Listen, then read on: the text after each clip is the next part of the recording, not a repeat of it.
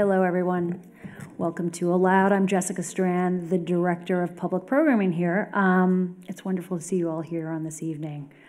So, um, for those who are not uh, familiar with the Library Foundation, we raise uh, we raise critical funds for the Los Angeles Public Library programs, which include Read Baby Read, adult literacy, and even Tech to Go, which gives anyone with a library card the ability to take out a Chromebook and a hotspot. These programs and others are available to support and help all Angelenos across this vast city. So tonight, we've got Sloane Crosley, who will be discussing her new novel, Cult Classic, which focuses on the adventures of Lola, a 38 year old woman who who fears of spending the rest of her life with her fiance result in a series of more than coincidental encounters with ex boyfriends, all within a five block radius in downtown New York City. This book, this, this look at love and modern romance leaves all the cliches aside and is full of satire, cynicism, and a realistic take on contemporary relationships. As one of the characters says about romance, quote, it may be the world's oldest cult. End of quote. Let me introduce tonight's guest. Sloane Crosley is the author of the novel The Clasp and three essay collections, Look Alive Out There, and the New York Times bestseller, I Was Told There'd Be Cake, and How Did You Get This Number? A two time finalist for the Thurber Prize for American Humor and a contributing editor to Vanity Fair. Cult Classic is her second novel. Judy Greer is an actress who's appeared in nearly 200 roles to date, including the Blumhouse reboot of Halloween, Richard Linklater's Where'd You Go, Bernadette, and Alexander Payne's Academy Award winning The Descendants. Her television roles have included the FX comedy series Married, Netflix's Arrested Development, and Hulu's Casual. In 2018, Judy made her directorial debut with A Happening of Monumental Proportions. Currently, she stars in Hulu's upcoming series Reboot, which will be on in September. So please welcome Sloane Crosley and Judy Greer. Thank you.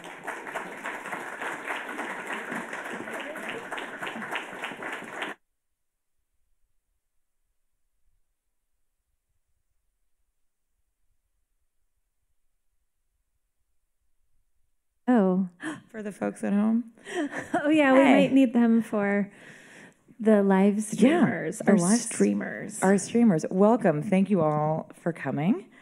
Um, I'm going to read for a tiny, Yeah, yeah. a tiny hot minute, um, just because this book just came out, and uh, you might not all have read it, um, and you won't be prepared for the quiz that we're going to give you at the end.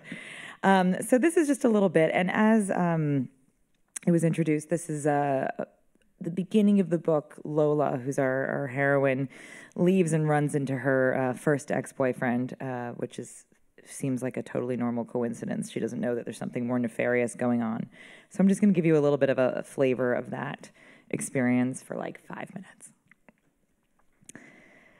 It was then that I spotted my ex-boyfriend, Amos. Amos was standing outside the restaurant with a taller friend. The two of them shared a square of sidewalk, the friend running his thumb under the strap of a messenger bag to relieve the weight. I could tell they'd just come from inside. Larger forces had protected us from seeing each other, but larger forces had done all they could.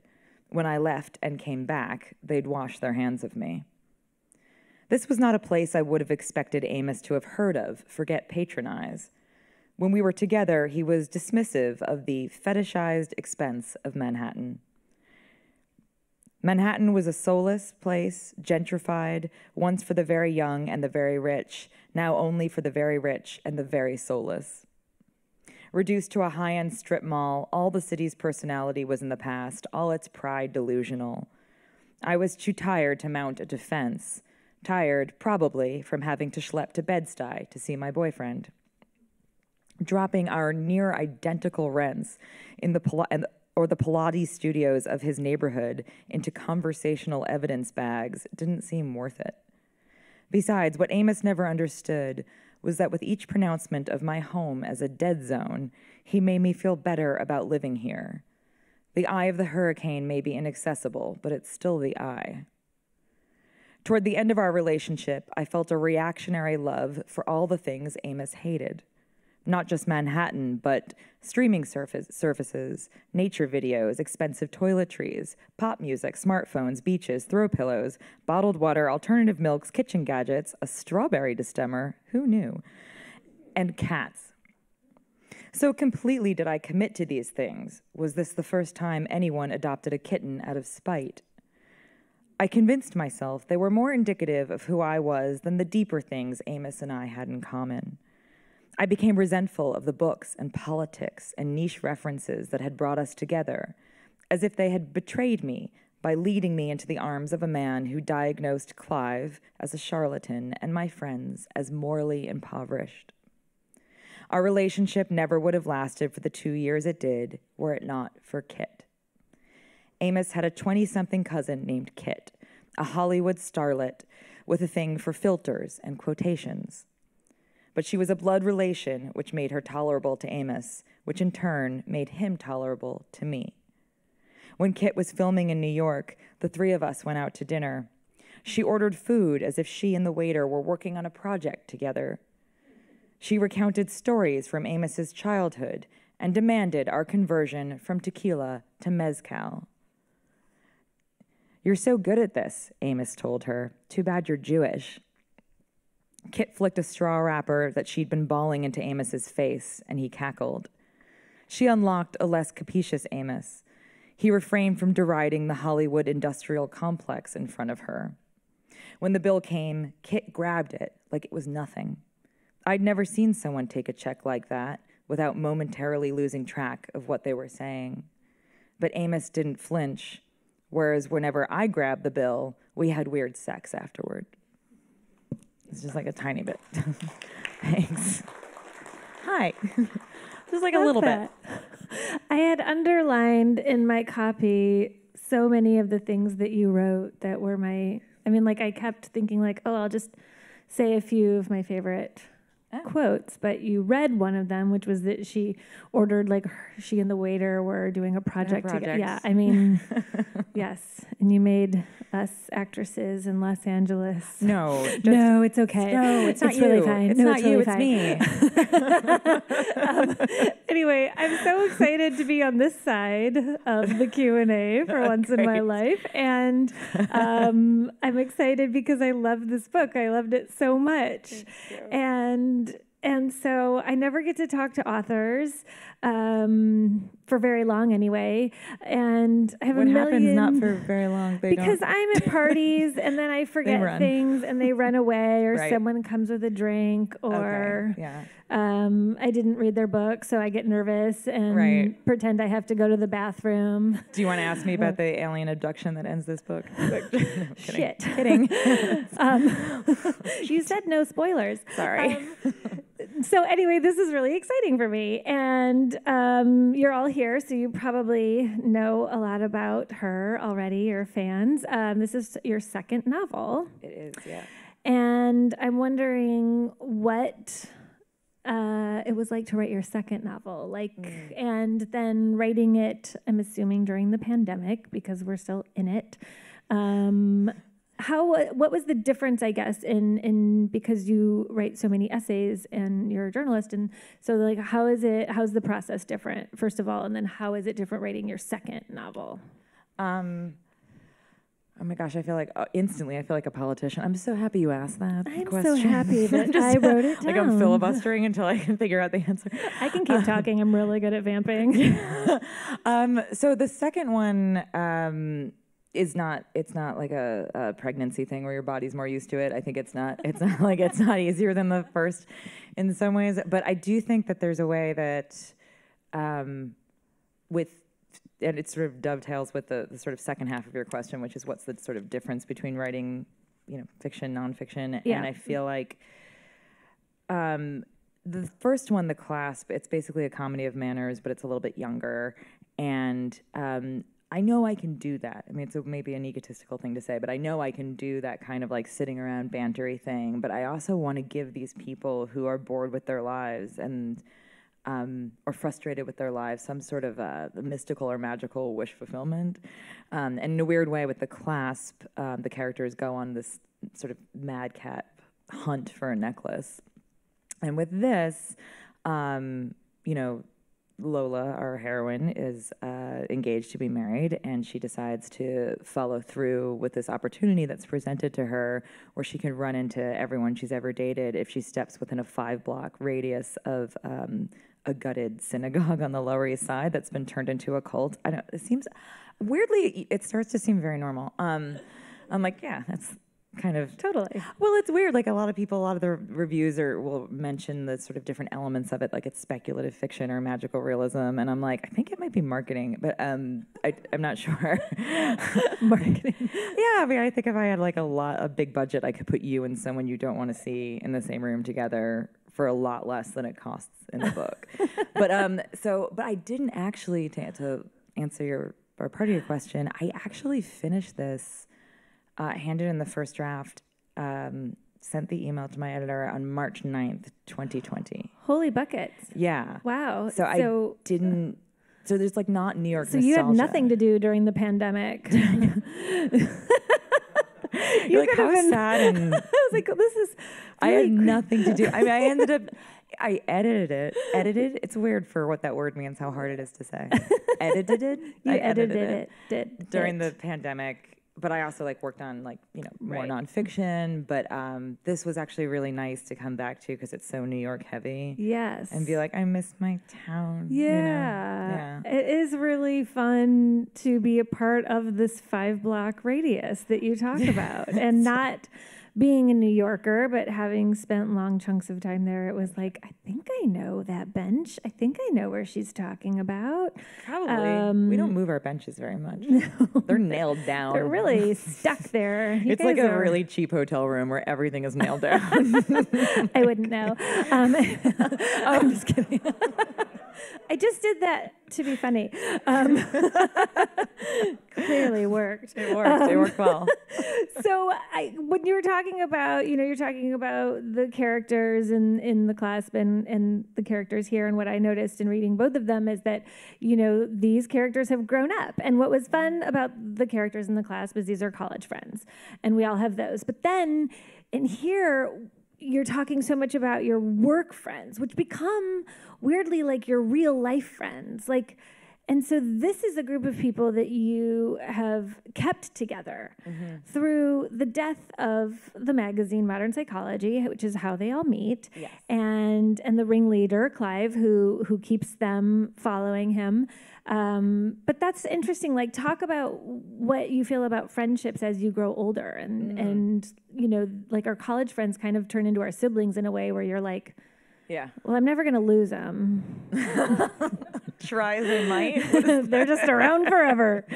But then Yeah. you have this new this family. This is the person you sort of decide you want to try to be like when you get your first real job. And Mm-hmm. these are relationships that you know you you get to kind of choose more in a way. and I I'm so again I feel like a politician. I don't mean to. I'm so happy you asked that. but the reason why is because I feel like the there is this parade, and at some point I describe it as if being propelled from a t-shirt gun of ex-boyfriends throughout the book. But like I hate to sound like it's about the friends we made along the way, but truly the container um, is that is that friendship where they they all worked in a magazine, um, as Judy said, called Modern Psychology, which is like obviously psychology today. It's like the least creative part of the book. Um, I was like, oh my god, did that magazine really? And I realized, yeah, oh, but good yeah. for psychology today. In real life, has not folded. In the book, Well, super uh, folds. Well, it's I'm sure it will soon. I mean, media- in it style's gone. You're like, hello. You're like, is it media? Is it glossy? It's done. Um, but yeah, it's. Um, but it's because I think that the characters in the class are still sort of growing up together, and I think that um, these guys didn't really grow up together. What happens is it's this sort of narrowing of experience. I mean, you can't I mean, the, show The Office is based on this phenomenon, you know, um, or then we came to the end, the Joshua Ferris. Like, I there's a lot, book. such a good book. But there's a lot of like the idea of an office comedy, and this doesn't take place in an office, but it's sort of deeper than that. There's a part where they were so close, and I like that she's 37 in this book. And so there is time for her to have this complicated relationship with Clive, her old boss, who used to be her mentor. At some point, she thought maybe they would have a um, a romantic kiss. relationship, exactly. And then, it, you know, she also sort of hates him and loves him, and like he's an indelible part of her life too. And she has this moment at some point where she's like, "How did these people wind up becoming my people?" And what's weird is like there's a smoother transition with college with with work i find it's like shocking. As someone who used to work for random house for a decade or so it's sort of shocking to share you know eight plus hours and just the air and all the topics with people. And then there's a bit in the book where there's a one of these reunion dinners that they're at, and um, Lola, the heroine, asks her old coworker Zach, like, you know, if he has any fun summer plans, and he looks at her and he's like, "Are you making conversation with me?" like what? Like, you know, like we used to be so close. Yeah, we didn't used to have to do that. and to so do like this. it's such a specific, messy relationship. But that's part of the reason why I like that she's older because if it was a younger person, you might think she was going to get together with Clive, which I won't spoil the ending, but she doesn't get together with Clive. I kind of wonder. He's like basically turns into a cult leader, so That's the kind of kills the romance, you know. Yeah, I mean, or if you're into that But kind of thing. But the friendship is like it's it does it's um it's really sweet. yeah, and I'm glad you I- noticed it. I totally get why they all sort of like stick to it. They all stay with him. They all still follow him, and it, it is like they're just.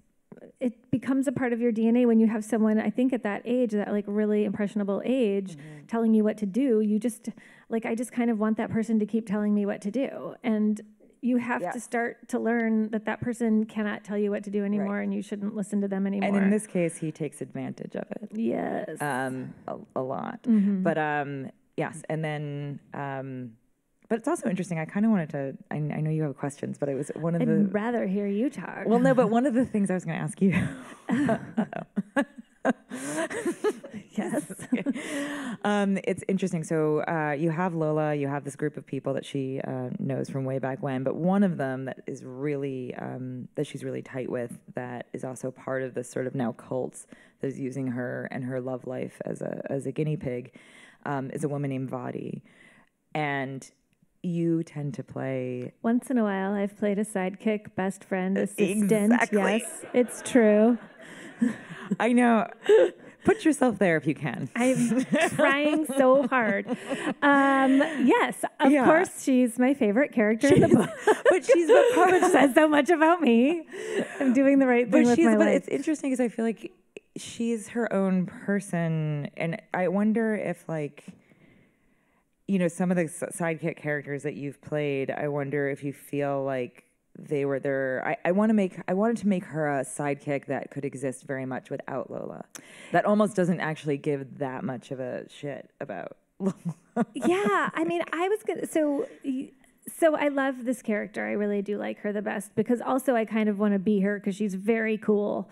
Yeah. Um, she's so cool, and you understand why Lola is drawn to her and why everyone's drawn to her. But one thing, and I might have missed it in the book, is why does she do this to her friend?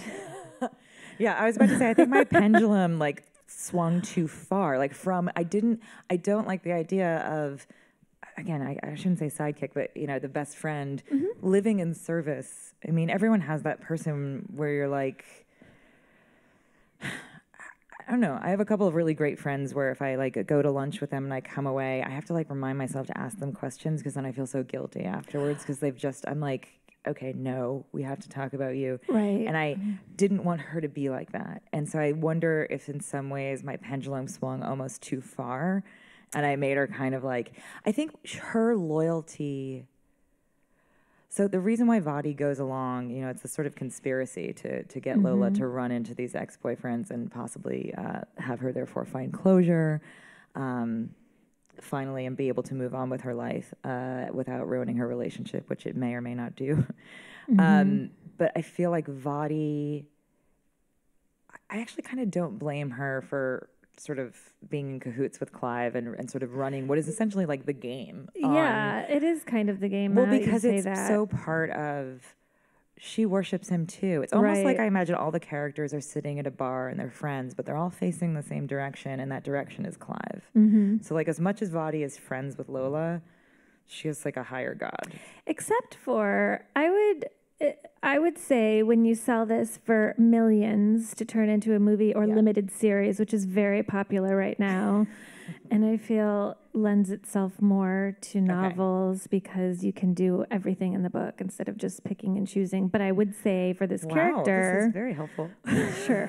you can email me with your offers. Um, uh, that sh- so I think what I would do in this is I would want to do this to my friend because I would be so sick of her indecisive nature. I would inertia. be yes, and just this like constant like I don't know. Yes, we're engaged, but we don't have a date, and I don't know.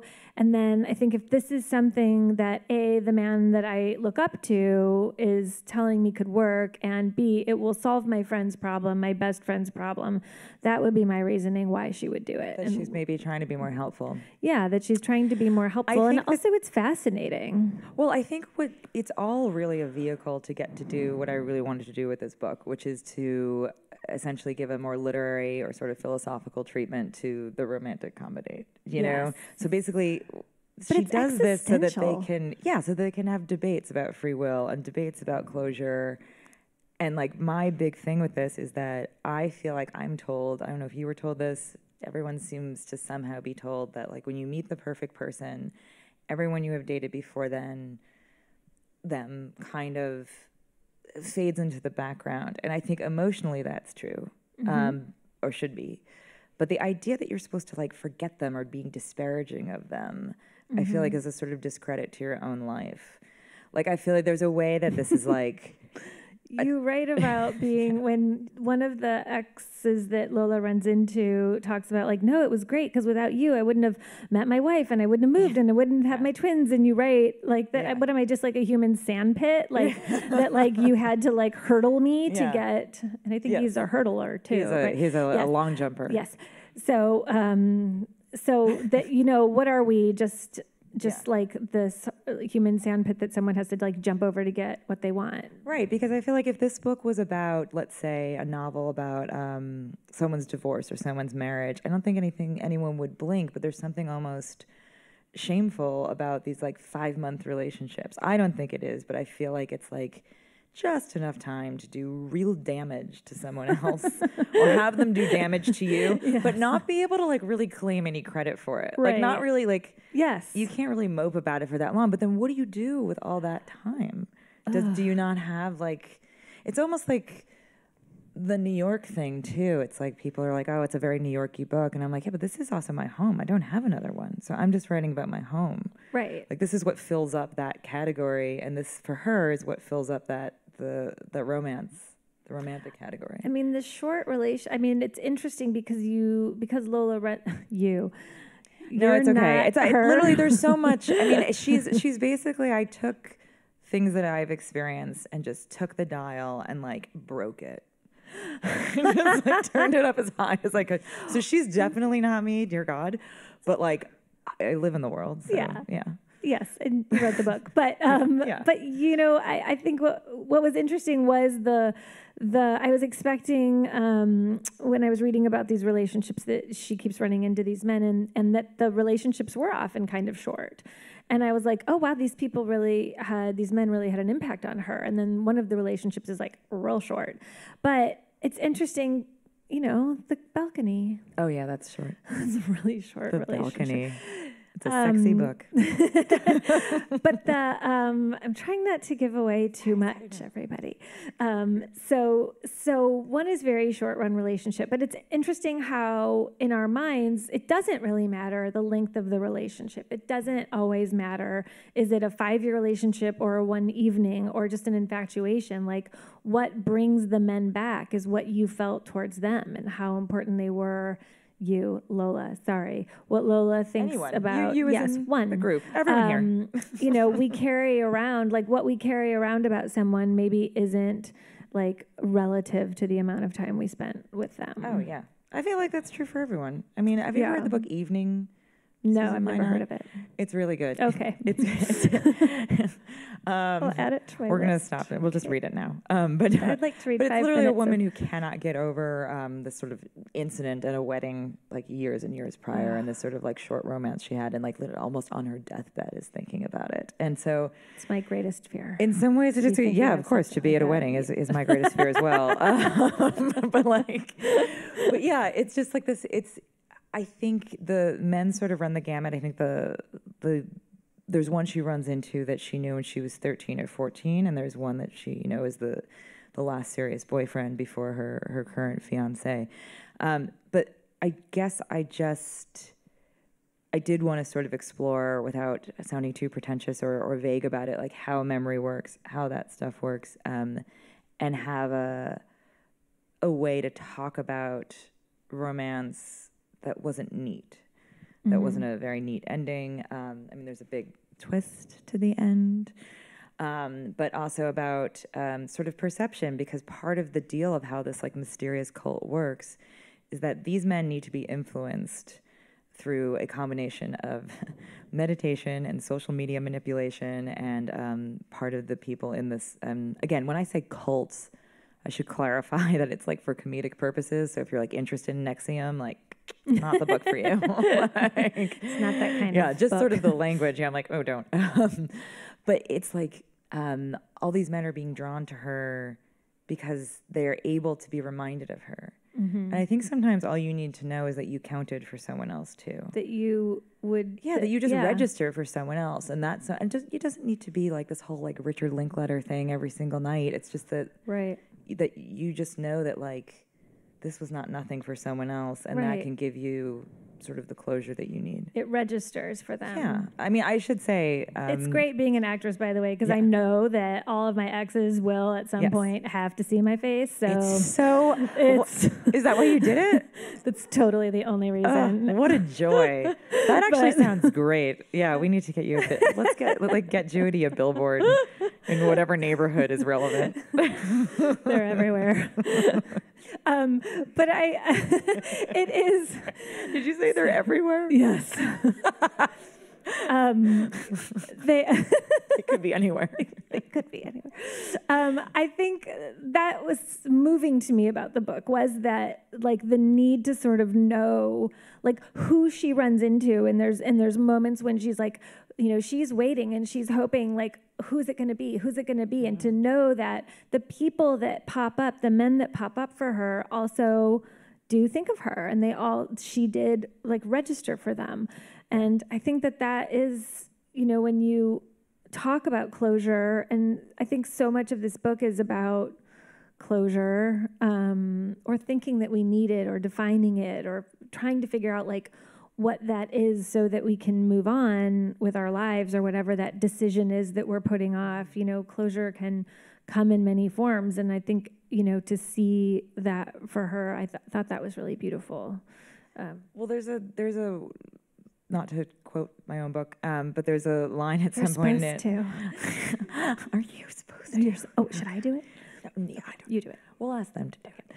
Um, but where she says that, you know, I think if closure is to be found, it's letting the door swing open and not slamming it. You know, because I think it's a, it's so much pressure to just sort of forget the past and I have to learn something from this relationship and this relationship. And it's like, I don't know, maybe that was just a mess. And also, I don't, I should clarify maybe at this juncture in the event that I am not Esther Perel.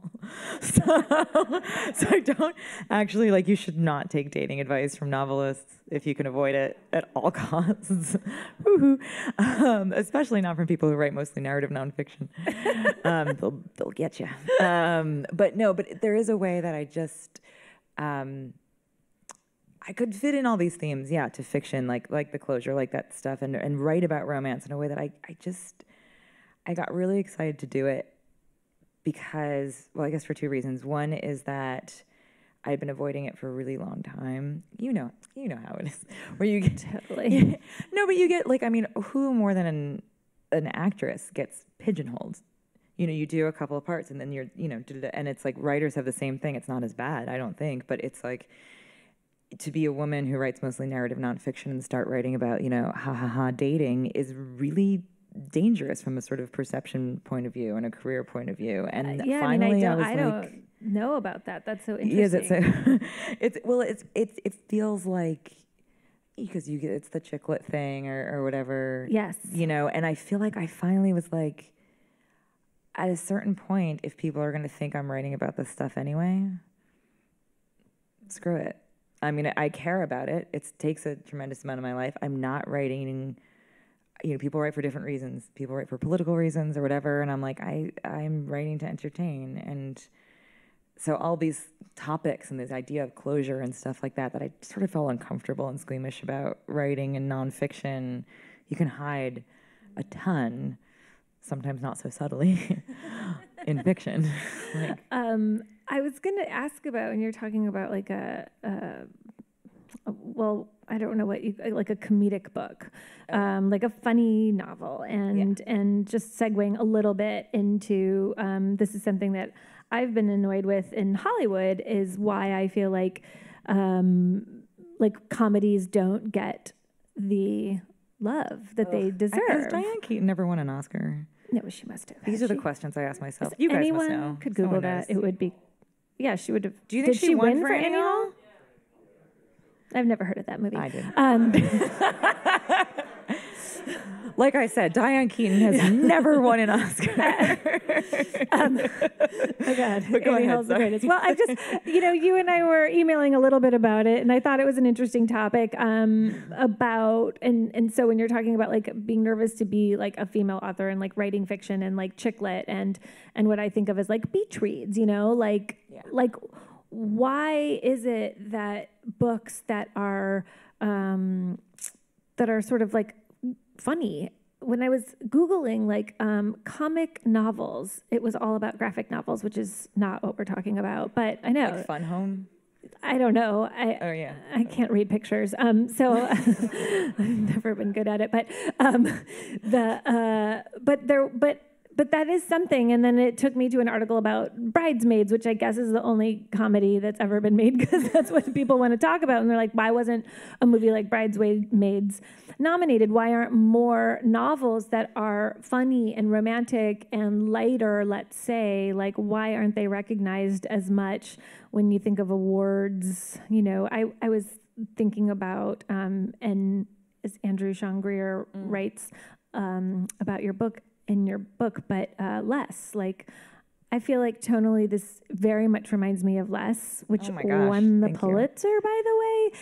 And I wonder what you think about that. I loved Less. No, I'm kidding. I know that's not what you're asking. No, yeah. I mean, less is amazing, and but like, but I feel like this is tonally in that same world, in that same kind of genre, like a like a coming of age story about someone who's not young. I think that Although 37's pretty young. 37 is pretty young. Weirdly, she's, um, well, I'm going to answer your question and I won't forget it, but very quickly I will say, oh, I'm going to do it. I don't mean had to so threaten more you in front of everyone, but I will to all of them. answer the question. But no, very quickly I will say that um, there's some, for some fact checking reason, because of like uh, a reference that's made in the book and when she would have been in New York. Um, she's 38 in the finished book and 37 in the galley of the book, and so I'm like, She's she's, a grown a lot. she's like literally she's grown, grown lot. she's up. grown up. Oh, She's all grown up. But um, no, I think I will answer with um, a friend the other day had um, well still has a teenage daughter. Had her the other day. Still has the daughter. She's not a year older. She's still not a year older. Um, and uh, he was mad at her about something. And she's like, It sounds like you're having a personal problem, which I thought was a hilarious, like, cheeky thing for a teenager to say.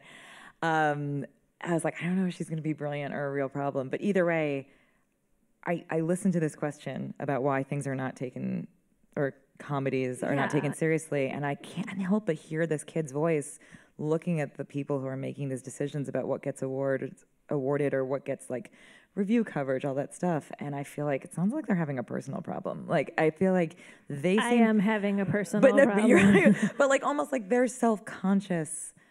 It seems like it's nothing. Like the effort it seems effortless the way that researching, you know, the the Amos, the character I read a little bit about, um, The has first the first the first into. is a novelist who's not a very successful novelist until he writes a novel um, that is about an Israeli like child who crawls um, to Palestine, uh, Palestine, Palestine, um, through like a Hamas-built tunnel and emerges in a land where there's no such thing as war, and it's on the bestseller list. Because I'm just like And that's the kind of, but that's wrote it. obviously me satirizing Of course. that, that that people would take that so seriously, you know. And I feel like I don't. Um, it's it's weird because I think people think everyone has the capacity to be funny, and that not everyone has the capacity to write about Syria. And I think both things are true. Like I always have relatives, and I don't know if you have relatives that do things like this to you, but where they're like. Why don't you just write like John Grisham? And I'm like, well, oh my God, why am I not in a Hallmark movie? Why, are you, why aren't you? Um, Can you speak to well, that? they haven't asked that I know of. I know. Well, actually, I know you're joking, but literally, part the haven't asked thing. A little part of me is like, this is disrespectful to John Grisham and myself equally. like, it's just disrespectful. Like what he, I can't do what he does. That's why, and I don't want to, and he doesn't want to do what I do. So it's like this idea that comedy, though, is sort of in us all, and therefore it's like closer to the surface, and it's just happened to be like something that you mind, and not that it's difficult. Mm-hmm. I don't know. There's something. There's something about it that I, was think people's what- own self consciousness about how they receive things. Yeah, I thought that I wondered what it would, what a writer would say about that. Like I know what. Yeah. Well, I don't know what. I mean, why do you think? I mean, I think it's getting slightly better It is in I- terms of what yes. ends up winning like best picture. Maybe post pandemic it'll be slightly better too. Yes, we'll have to get through all those pandemic films first, but then once those win the awards, Yeah. then we'll maybe get Yeah. some comedies. A little bit. I mean, it's it's it's funny because this book, you know, is a comedy. Um, like I said, not if you're looking for a book on cults. um, this is not your friend. Um, but it it is really like not. Eh, it's before it was written before the pandemic, so I just mm-hmm. don't have this like. I don't know. It's it was nice to edit during the pandemic and and cheer myself up when I was in my tiny Yeah. apartment. It was, um, it's so funny, and I Thank feel you. like a, a loser that I want to look at my Look at your questions. my questions because I have so many good ones, and that says the word pandemic, so I'm not asking that one. Um, why covered? Um, Purell. um, I I wonder about um, I wonder about so Lola she has the choice to not engage in this grand experiment, and she does. Um, and so we've already talked about closure, but Right. do you feel like if you were given this opportunity, would I do it. would you do it? When I do would it. you want to see them all on the street? So, okay, so like you know, I was, um, you know, how like before. Sorry, I just forgot we had an audience.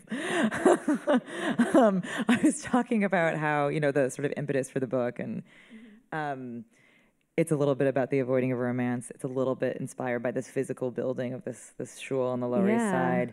Is And that a real place? I mean, it's kind of. Have you? Were you like, ooh? Yeah, I tried to contact the guy who owns it to take a tour, and he was not having it. No, no, no, no. He's not hmm. interested. Although I ran into him outside and gave him a galley of the book like a total nut. And like a true New Yorker, he's like, I'll read it and I'll see if I like it. Oh and then my I gosh! Can, if and I then like maybe it, you can get. You're like, I and wrote a book a about this yeah, place. I wrote a book about this place. He's like, I don't know if I like it. I'm Oh like, my god, I love him. love you. Um, Why do we like to be treated so poorly? don't know. 'cause it's- it is What's wrong with us? well, because it's the Groucho Marxism thing, right? You're like, don't I, know who just that want is. in. Just You kidding. know, I don't know what that is. I've never seen a picture, but no. Um, but, but the would I do it? Would I actually do this? I think a lot of the book comes from essentially what this book is, and it's not very selling because it's going to sound like a nightmare. Is if you went through the text messages that you're not supposed to look at from Yes. past relationships that are still lingering in your phone and suddenly these things that were supposed to be memories have Yes. morphed into emotions and that is re- very yes. dangerous and so this is like a manifestation of that so that would, would be a point towards not doing it i think i would be so curious I know. to see i was like really so if i step within a five block radius of this place, I'll run into like a random ex boyfriend. And, you know, before both of our times, um, there was a game show called This Is Your Life. Oh, I know that. I It was a while I mean, ago. yeah, I mean, like I don't remember. Yeah, it, you can't like, no. possibly. yeah. I watched the Phil Collins one once. Okay, yeah. Anyway, But anyway, but it, it's a game show. But and this is that, you know. And so why wouldn't you go into This the game show? your- those all those people went. this onto the- is your love life. this is your love This life. This is also a limited series television show that we will be selling later on. This is There's your love lots of life. material to option here. Nobody leaves. Lock them in. Lock them in. You'll have to sign something before you go. Sorry. Yeah. Um, yeah, I think that the bags. Um, I didn't think about that, but that is so true. This is your love life. That is kind of. I I, I also um, wanted to ask about a real television show, and uh, for some reason I'm like embarrassed to ask this question, but I have to because I was thinking a little bit about. Um, and I'm not a New Yorker, so I don't know. Maybe New Yorkers hate Sex in the City, but I like the question mark. Like it's Yeah. like I went to school in Oh, Cambridge. Well, yes. Um, in Boston. Um, I felt sometimes when I was reading this, this was like opposite Sex in the City. Like our Lola gets her big, but Hmm. then she has to go backwards in time to see all the things, like all of the men that led her there. I don't Oh, know wow. if that resonates at all or No, offends you correct. greatly. I'm sorry if it does. No, no, no. I love it that seems show. it seems very correct. Actually, Okay. um, on a side note, I live around the corner from the Sex and the City facade, so there's constantly people taking Yes. pictures. You can do a whole tour. I haven't done it, but you can like do a. Se- well, you probably know because you I, see it. I live. You live in the tour. I live the tour Oh. every day. That's exciting. No, it's not. No, it's not. The cupcakes are really dry. But um, the, the, I used to live on the street that went up to the Hollywood sign, and I was dodging tourists until I Yeah, a eventually had to move because I knew I was going to run someone over. oh yeah, see that's it. Yeah, It was like that's, really yeah. dangerous. Um, Hat, actually, sunglasses. Yeah, it is actually. yeah, it was. I was nervous. I was going to kill somebody. Um, I. Uh, But I- yeah, it does that. that- That's a really good.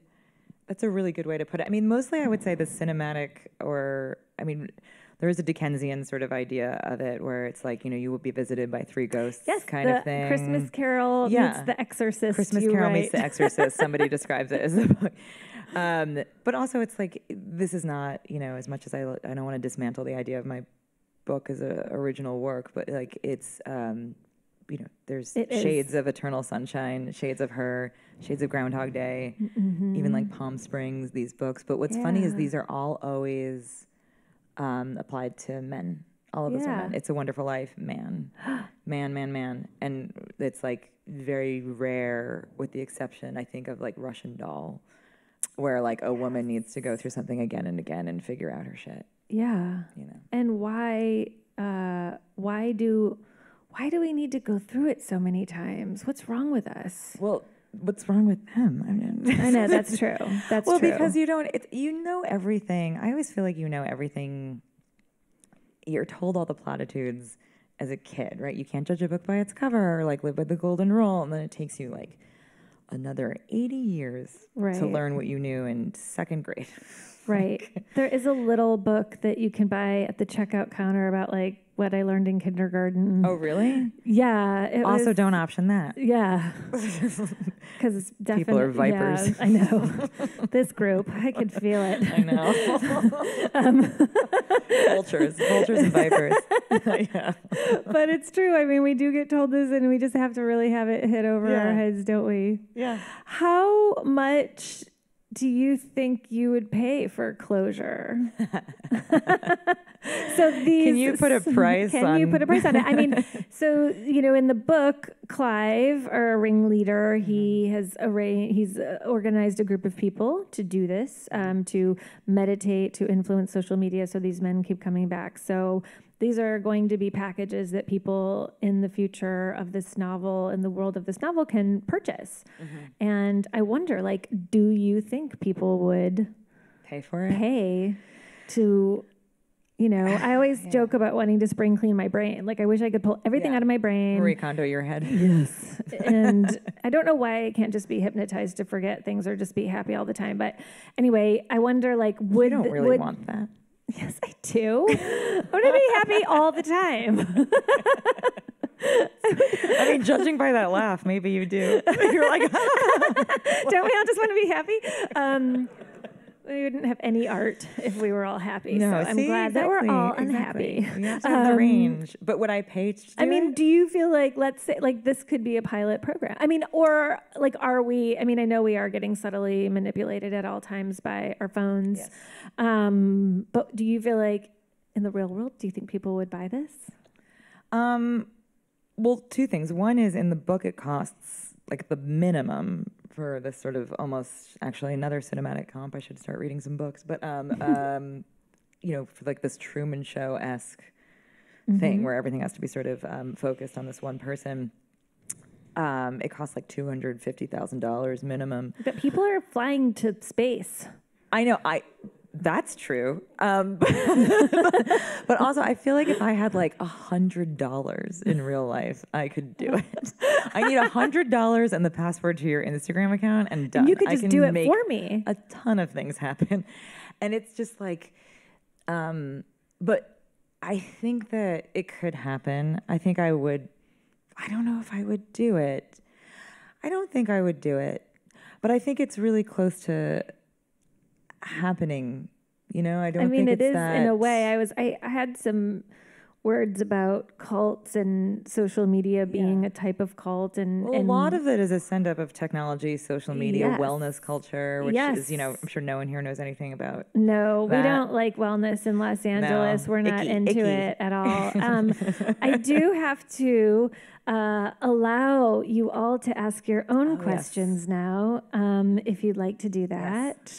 But I You do have to cannot option yes. any of this, No, but you can't have any of these ideas up here. Um, It's Ideas Factory. does anyone want to be the first person to ask a question? We'll be coming around with the microphone and just r- make sure to keep your mask on when you ask your question.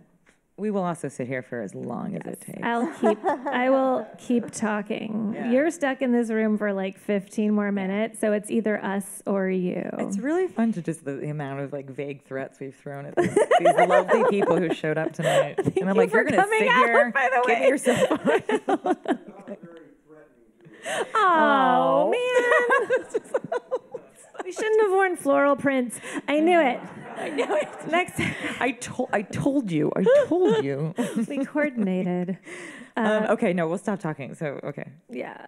I'm gonna use this opportunity to just look down at my. Oh, I'll say Yeah. a funny thing. I'm gonna, I'm gonna drink this. Drink it. Great. Um, a funny thing. Oh, oh, great. We have we have, We have a question. We're coming, we're coming. Oh, no, wait. Oh, you have to have the microphone. I think she said she wants to buy everyone here this book. Did I hear it wrong? Thank you. It's a very simple question, but I was wondering what inspired you to write this book. It's a good question. Seems like one I should have asked earlier. This And happens yet- to me every every time I interview someone. They're like, "Hi, yes, I'm just I didn't catch your name." I'm like, "Shit, sorry." like, um, I think I just really wanted to, um, yeah, sort of apply a kind of just an opportunity to put everything I wanted in a book without it feeling too crowded. So that's sort of more of a craft answer to your question because I think I already basically was like, yes, I wanted to write about romance in this intelligent way. And yes, I wanted to um, write about sort of older friendships. Um, but like there's basically, there's an author named Jim Crace. Do you know who that is? Or does anyone know who that is? Jim Crace is an amazing British author. He's written like nine books, and he had the great misfortune of retiring the day Philip Roth retired, so no one gives a shit. Um, it's like how Farrah Fawcett died when Michael Jackson died. It's not. Oh, that's right. Yeah, also, see? David Hasselhoff had a pay per view fight on the day that O.J. Simpson was chased in his white Bronco. So nobody paid to watch. no, it was a concert. It was a David That is Hasselhoff. such a better example than the Farrah. Fawcett. No, I think it's actually because I'm then dark. I'm doubling down It's on how no one cares about Farrah Fawcett by not. Yeah, you are actually so- doubling down, and Jim Crace. But but so Okay. Jim Crace, but he um, used to say um, that is, I, and this is not a great boon for the arts as in general as a concept, but it is helpful in terms of motivating me on a sort of uh, micro level. He used to say that never forget that you are a volunteer. That is your job.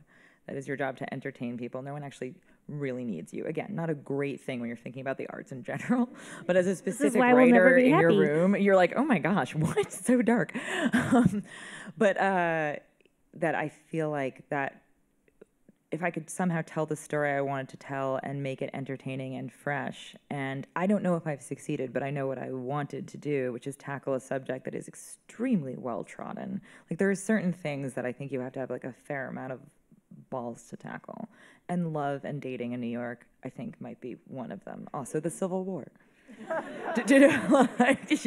Just because it's so like you know and i feel like I, when i finally felt that i had this structure both with the friendships that we've talked about and with this like wackadoo kind of like goop on speed cult like thing in this building which was so fun to describe. I mean to just like there's a crystallarium in it where there's just like a big room with an amethyst geode where people just like get vibes it was so fun. Um, so that's it. So it's one the those. entertaining thing. So basically, it was like how to make something that is a bit of a cliche, new and entertaining, and that's what I wanted.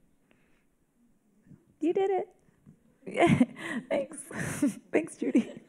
You have to say that. I, I don't, but Oh, there's another. Oh, this is great. This is good. We thought we were gonna have to really harass you. I know. Um, you had talked about um, how comedy wasn't getting the props it should get or whatever, and I just had this thought in my head that it seems like more and more. Th- I mean, it's called dramedy in, mm. in in in business, I guess, but it seems like that wasn't so much a thing.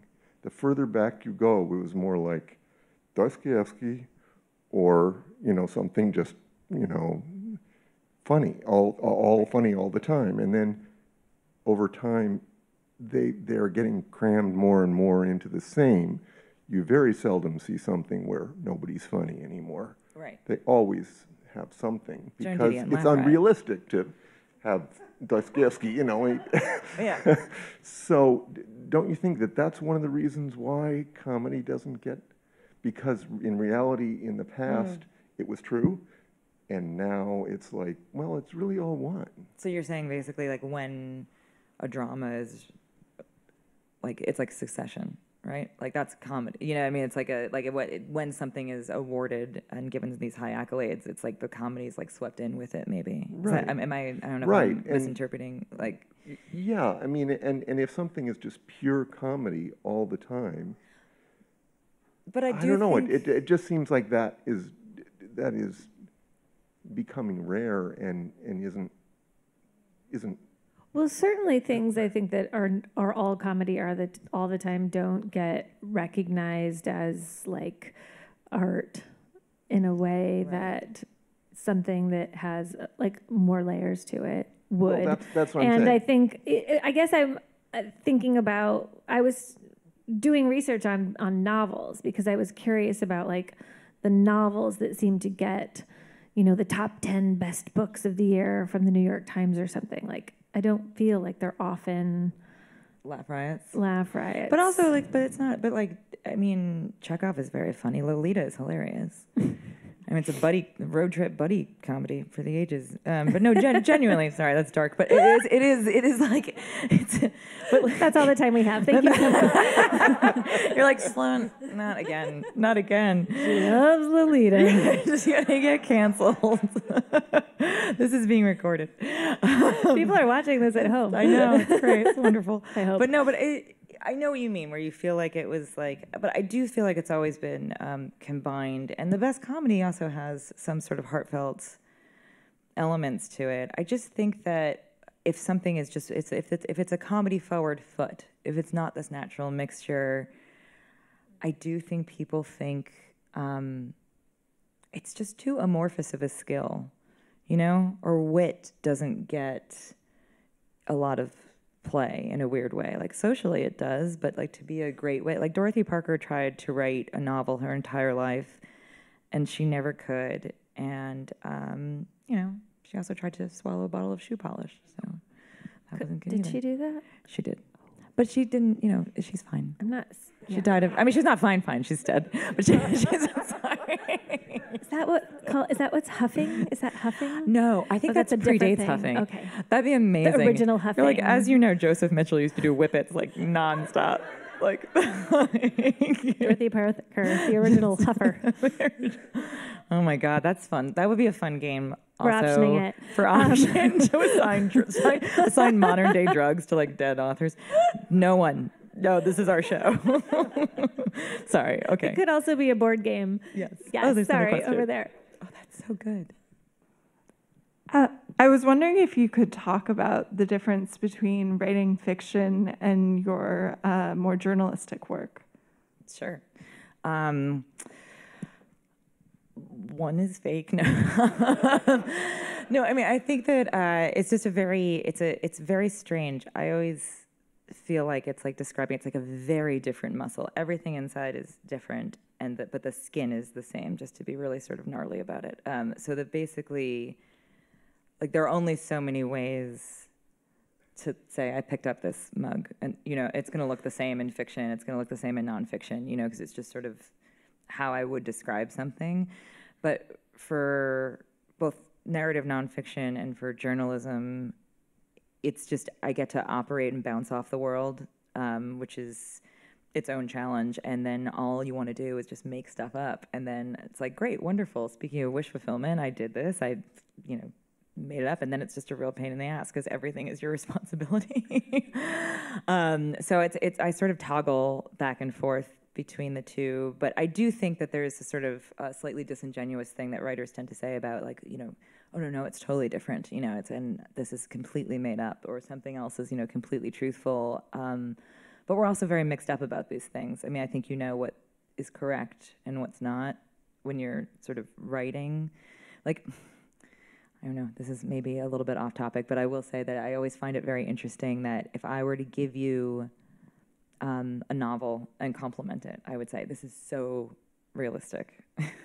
like, it's just so, she really captured this, he really captured that. And if I were to give you a memoir and recommend it, I'd be like, it's unbelievable. like, and this is how like we we swap out like the sort of accolades for for the different forms in a re- in a really weird way. Um, but yeah, I don't know. That's a long-winded answer, but I guess I just I don't. Um, it's it's nice to work on both at the same time because it's just very different muscles. Um, but then sometimes if there's just something I've observed, like oh, you know, wow, that something looks like something else, a simile, an analogy, it gets jotted down and funneled into whoever needs it first, like a blood transfusion. That's Uh, we- so. Oh, sorry. Did someone else? Oh, I, uh, we have time for one more. Oh, we have time for one more well, because it's I not answered going to be my like. question. No, we can do we can do your question and then one more question. Okay, but make it something we can option. Whoever, whoever answers. Well, I was. Uh, I forgot my question. So Oh no. no, it's okay. It's my brain. Well, one more from the one more from you guys. We'll calm down and so you can answer a question or ask a question. It's gonna be a good one. Yeah, it's gonna be good. Oh, there we go. Hello.